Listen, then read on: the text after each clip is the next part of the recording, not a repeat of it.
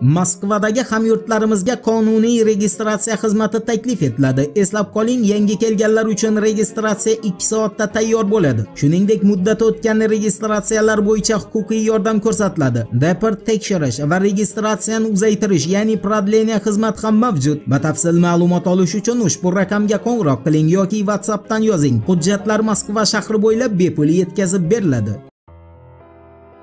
Assalomu alaykum qadrdon muxlis. Siz bilan siz bilgan va kutgan kanal turfa olam isroilni yenat agentligining xabariga ko'ra 26 oktyabr kuni isroilga qo'shma shtatlardan ming nafardan ortiq dengiz piyoda qo'shinlari askari o'tirgan samolyot kelib qo'ndi. Bundan tashqari yenetga ko'ra isroilga 26 oktyabr kuni g'azodagi urush munosabati bilan umumiy to'rtta davlatdan armiya keldi. Bular britaniya germaniya va avstraliya armiyasi askarlari hisoblanadi. Yenetni o'z xabariga izoh berishiga ko'ra, Isroil Yaqin Sharqda va musulmon o'lkalarida boshlangan qo'shma harbiy amaliyotlardan qattiq qo'rquvda. Boisi bu payt kelib Isroilga qarshi ishlashi mumkin. Aniqrog'i Tel Aviv o'ziga qarshi tevarak atrofdagi musulmon o'lkalarni birlashishidan qo'rqmoqda va agar shunday holat bo'y ko'rsatadigan bo'lsa, u o'zini himoya qilish imkoniyatidan to'liq mahrum bo'ladi. Sababi Isroilga bu yaqin o'rtadagi bir dona davlat Eronni o'zi yetadi. Kutilmagan harbiy amaliyotlar Yenetga ko'ra Isroilni vahimaga solib qo'ydi. Bir tomonda Pokiston, Turkiya va Saudiya Arabistoni, bir tomonda esa Iroq bilan Suriyani qo'shma harbiy amaliyotlari Tel Avivni nimalarga qo'l urgani uchun o'ylanishga majbur qildi va u tabiiyki o'zini g'arbdagi yagona otasi Qo'shma Shtatlardan yordam so'rashga tushdi. vashington esa har doimgiday o'zini yerni turli chekkalaridagi qullariga buyruq berdi va mana natija Yenatning urg'u berishiga ko'ra Isroilga Germaniya, Britaniya va Amerika Qo'shma Shtatlari bilan Avstraliyadan armiya yetib kelishi bu G'azodagi urush ko'lamini kengaytirishi mumkin xolos. Biroq uni to'xtatishga hech qanday yordam bermaydi. Boisi bu urushni yakunlashning yagona yo'li jahonni aql hushi joyida aniqrog'i ruhan sog'lom davlatlar rahbarlari Putin, Si Zinpin va Recep Tayyip Erdo'g'an bilan Mahmud Abbos aytganiday yaqin sharqda ikki mustaqil davlat tuzishdir.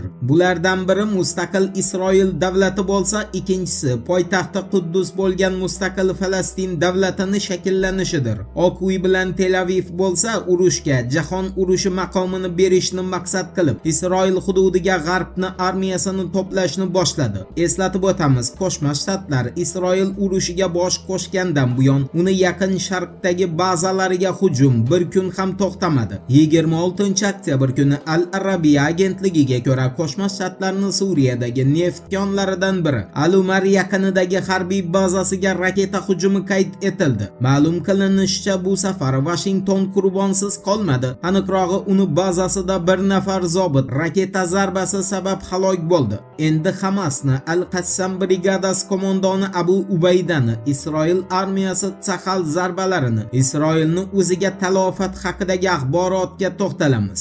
Al Jaziraga Al-Qasam guruhi qo'mondoni Abu Ubaydani ma'lum etishiga ko'ra, Isroil G'azo sektoridagi tinch aholi istiqomat qilayotgan hududlarga zarba berib, birinchi navbatda falastinliklarni, ikkinchi navbatda esa Hamas qo'lidagi isroillik yahudiylarni o'ldirmoqda. Abu Ubaydani aniq sonlar bilan aytishiga ko'ra, 7-oktyabrdan buyon Isroil G'azo sektoriga o'z zarbalari bilan umumiy 50 nafardan ortiq Hamas asirlari sanalmish Isroil fuqarolari yahudiyni o'ldirdi. G'azoni o'zidagi qurbonlar soni esa Abu Ubaydaga ko'ra 7000 nafardan, jarohat olganlar soni 18000 nafardan oshib ketdi. Endi Ukrainani frontdagi og'ir ahvoli haqida qisqacha so'z yuritamiz. Ukraina havo kuchlari matbuot kotibi Yuriy Ignotni 26-oktyabr kuni RBKni Ukraina bo'limiga ma'lum qilishiga ko'ra, Ukraina armiyasi ayni paytda o'ta og'ir vaziyatga tushib qoldi. Uni Qizil limanda qolgan qo'shini deyarli bir oydan buyon aniq sanalarda 3-oktyabrdan buyon Kiyevdan hech qanday yordam olmadi va ular istalgan paytda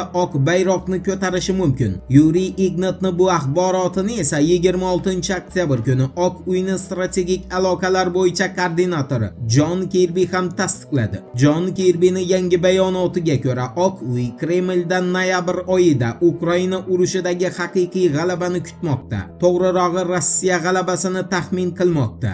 Negaki kiyevni frontdagi armiyasi oktyabr oyida jangovar ruhni butunlay yo'qotdi. Bunga esa isroilni qonli yurishi sabab bo'ldi. Voqealar rivojini birgalikda kuzatamiz. Turfolam bilan qoling siz kutgan kerakli ma'lumotlar hali oldinda.